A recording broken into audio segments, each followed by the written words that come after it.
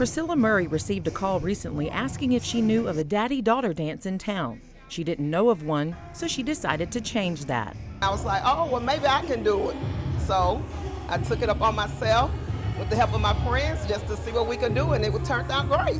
One and two. The gym at Patterson Park was filled with well dressed men, accompanied by girls of many different ages dressed to the nines. And several that we spoke to say events like this are not only fun, but very important.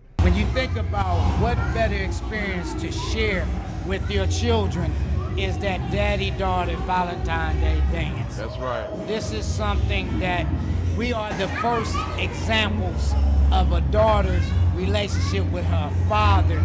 So these are priceless moments for us. From cupcakes and cotton candy to dancing and twirling on the dance floor, this night turned out to be something really special. Groundbreaking, if you ask me, because I mean, seeing all these children from different ethnic groups, different races, all come together and just have a good time and eat and dance and get high on candy and cupcakes you know, bounce off the wall, romper room, you know. Even though the girls were having a great time, it seemed like some of the dads were having maybe even more fun, making sure to give credit to the mothers. I couldn't ask for a better day. I thank the mothers for oh, yeah. signing us up That's for right. this. Yeah, we, without we, them, we plug them, you, you know, say without them, them, we won't be in that doghouse at all, you know. We,